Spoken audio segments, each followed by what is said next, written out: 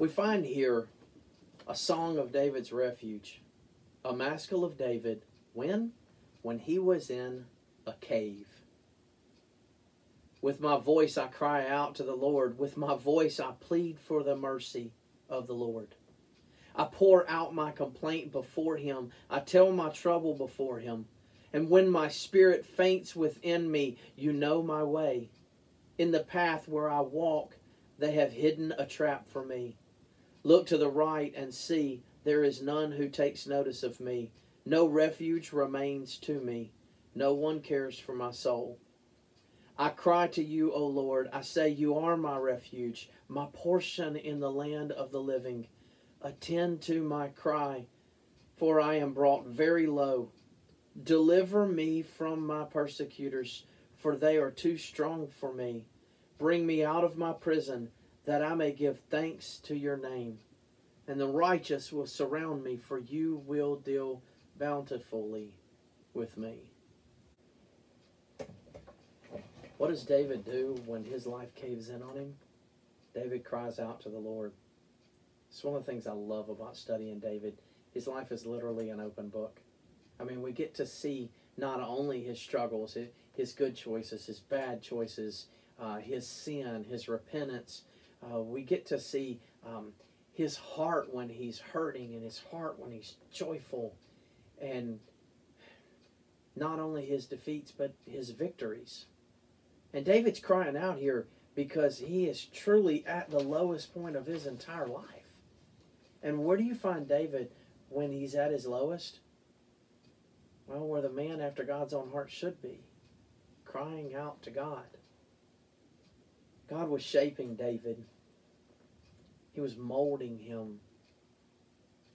He was allowing things to go well and allowing things to go bad, to uh, uh, like applying pressure to the clay and shaping David into be the man that he wanted him to be.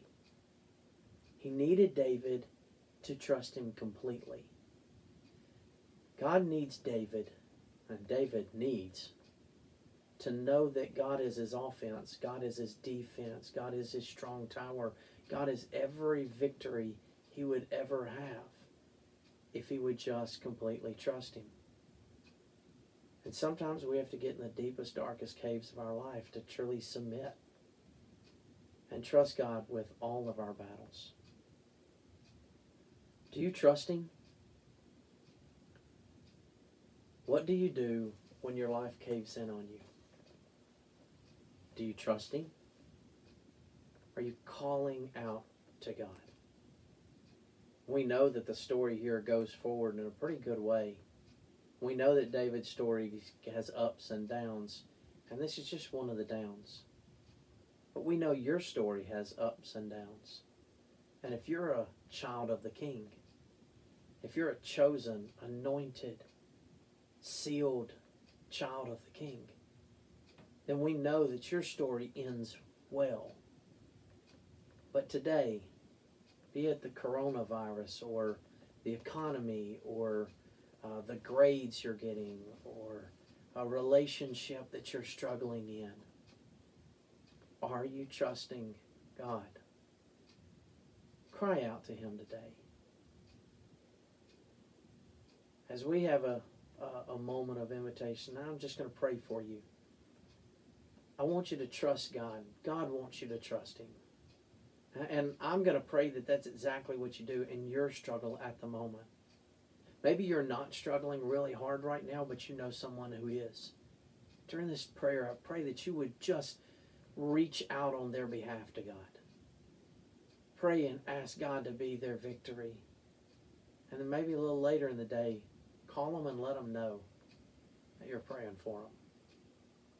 Bow your heads with me. Oh, Father God, David seemed to have lost everything and yet you rebuild him gloriously.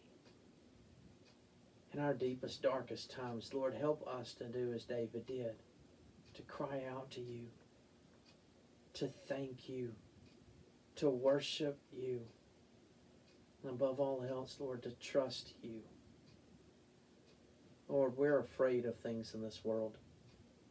But you told us that when we could fear you, that we had nothing else to fear.